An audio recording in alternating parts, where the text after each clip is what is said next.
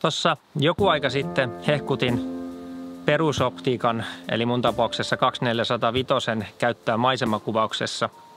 Ja kumminkin mä käytän aika paljon laajakuvalinssiäkin. Ja nyt tulee seitsemän syytä siihen, miksi mä käytän laajakuvalinssiä kuvauksessa. Eka syy mun laajakuvalinssin käytölle on se, että mä kuvaan 4K videota. Mulla on sen verran vanha Canonin runko, että se kroppaa 4K-videossa melkein 1,6-kertaisesti vai onko se peräti hiukan enemmän. Ja HD mä en halua kuvata, koska laatu on sen verran huono, kun että kamera skippaa pikseleitä HD-kuvassa ja se kyllä sitten erottuu maisemakuvissa aika selvästi.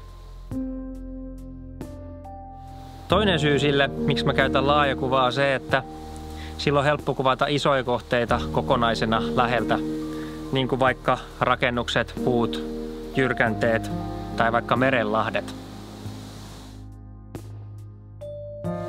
Kolmas syy on se, että laajakuvalinssilla on helpompi kuvata ahtaissa paikoissa niin, että siihen saa sitten mukaan myös vähän sitä ympäristöä, kerroksia, syvyyttä ja tarinallisuutta.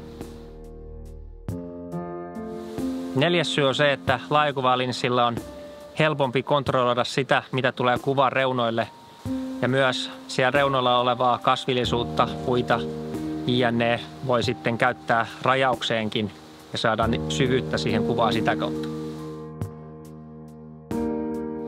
Viides syy on sellainen, että laajakuvalinssi mahdollistaa joko ympäristön tai kohteen koon liiottelun.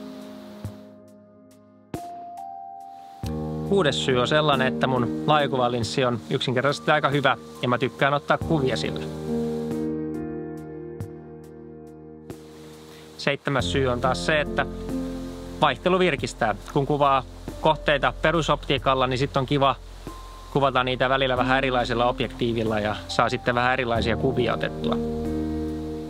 Mutta nyt sitten tonne pohjoispuolen kallioille.